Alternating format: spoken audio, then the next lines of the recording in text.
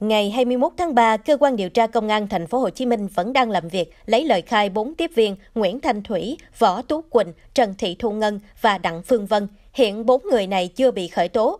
Trước đó, công an cũng thực hiện việc tạm giữ khám xét nơi ở của bốn tiếp viên nhưng không phát hiện ma túy.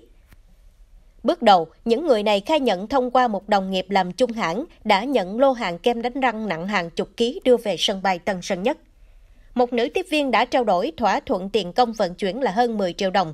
Số hàng kem đánh răng sau đó được chia ra cho từng người vận chuyển và bị phát hiện tại sân bay. Cơ quan điều tra cũng đã triệu tập làm việc với người môi giới, đưa số hàng từ Pháp về thành phố Hồ Chí Minh. Người này ở Việt Nam và nhận mối từ bên Pháp trước khi liên hệ với một nữ tiếp viên để vận chuyển. Các tiếp viên cũng cung cấp các đoạn tin nhắn thỏa thuận giá cả với người giao hàng tại Pháp, với nội dung được trả tiền công hơn 10 triệu đồng.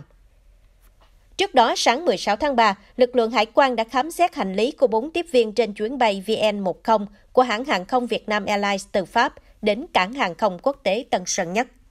Cơ quan chức năng phát hiện vali của Thủy và Quỳnh đều có 31 hộp kem đánh răng có thuốc lắc, tổng trọng lượng là 2,18 kg, 12 hộp chứa ketamin, còn gọi là hàng khay, nặng khoảng 1 kg.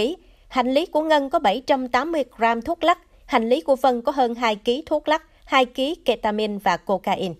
Phòng Cảnh sát điều tra tội phạm về ma túy PC04 Công an thành phố Hồ Chí Minh cùng phối hợp với chi cục Hải quan cửa khẩu sân bay quốc tế Tân Sơn Nhất điều tra xử lý theo thẩm quyền.